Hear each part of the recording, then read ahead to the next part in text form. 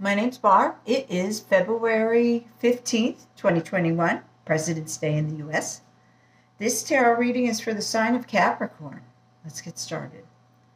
Okay, Capricorn, recently it looks like you've been very nostalgic, thinking about old times and wanting to make a new start possibly a, a love offer. But then I have this um,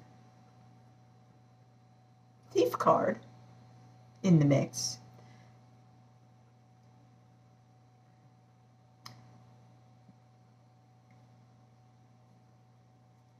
Which could, in, rather than a thief, it could symbolize somebody acting alone. Currently you are trying to figure out your next move. You, you're um, feeling a little trapped, like you need a, a new perspective on things. And so you're casting about trying to figure things out going forward.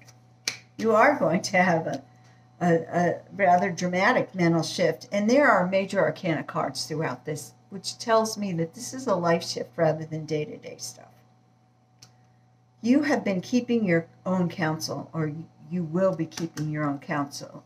If you haven't been, you're going to start.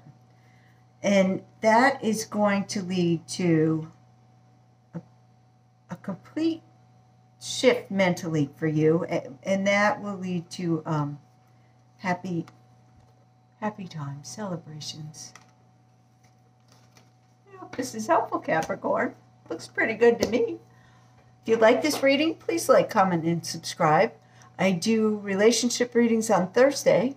Hope to see you there. Thank you.